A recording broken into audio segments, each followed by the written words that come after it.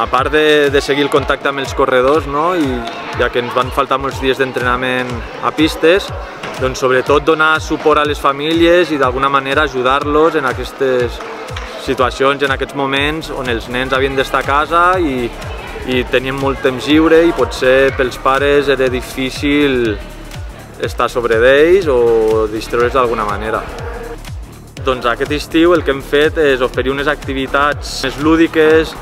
eh, activitats de muntanya, d'aventura i llavors la fórmula per poder-ho aconseguir tenint en compte les limitacions de, de la Covid, el grup d'entrenadors treballant a l'estiu ha sigut més gran i d'aquesta manera hem pogut doncs, agafar més, més canalla del club, fer més grups, hem mantingut sempre les, les restriccions que, que donava el govern. Ara el que fem en pretemporada de tardor és hi ha una, uns físics més específics, més encarats a la temporada d'esquí.